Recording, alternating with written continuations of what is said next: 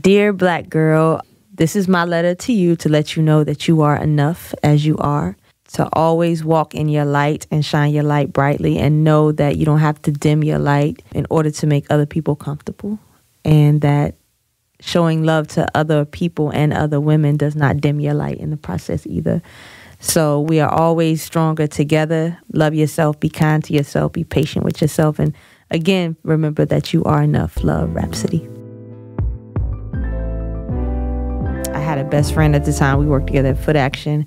And he was like, uh, we had started like this hip hop organization, uh, and he was in a, a, group. He was rapping actively, like he had CDs and albums. I thought that was so dope. I was like, bruh, how you make a whole album? Like, how you do that? Like, I didn't know nothing about it. I'm from Snow Hill, North Carolina.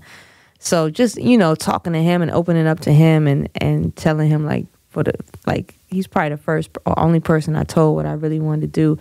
And he just looked at me one day. Um, we were in the studio. I was there watching him record, and he was like, I know you be writing raps and I know you want to rhyme, so won't you just stop being scared and do it? And that's how I was just like, you right. He was like, we're not going to judge you. We're just having fun. Whatever you want to learn, we're going to help you. And that's how I started. And his name is Charlie Smarts, and he is in the group that I used to be in called Cooley High.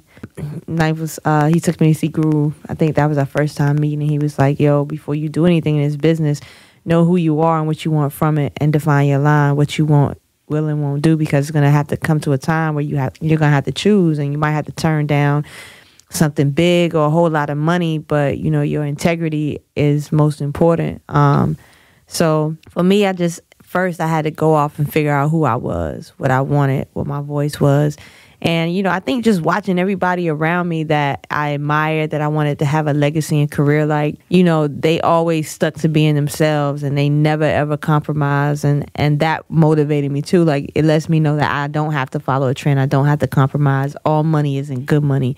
And, you know, just trust in the process, I think, more than anything. Like, you have to have blind faith in it where, you know, it just feels right. So you have to one decide what does success mean to you. For some people, it might be, I want to be the most famous person in the world. So until you reach that, then you won't consider yourself successful.